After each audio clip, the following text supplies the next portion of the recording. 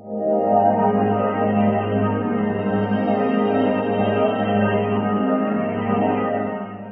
nay tôi sẽ gửi đến quý vị và các bạn clip về kỹ năng nghe và trả lời điện thoại thông qua việc nhận và yêu cầu dịch vụ. Xin mời quý vị và các bạn cùng theo dõi. Dạ, thế tân tòa nhà Sky City xin nghe ạ. Cháu ơi gọi cho cô một bình ga lên căn hộ B12A1 nhé. Dạ vâng ạ. Cô cho cháu xin tên và số điện thoại của nhà cô được không ạ? Cô là Thắm, có gì cháu gọi vào số điện thoại lưu ở danh sách bên cháu nhé. Dạ vâng, cô vui lòng chờ 5 phút, nhà thầu ga sẽ mang lên căn hộ bắt cho nhà mình. Cô ạ, cháu cảm ơn cô. Ừ, cảm ơn cháu. Vâng, cháu chào cô ạ. Alo, nhà thầu ga Tân An Bình đúng không ạ? Dạ vâng, ga Tân An Bình xin được phục vụ quý khách ạ.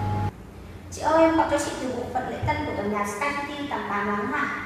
Chị cho nhân viên mang giúp em một bình ga lên căn hộ B12A11 luôn chị nhé.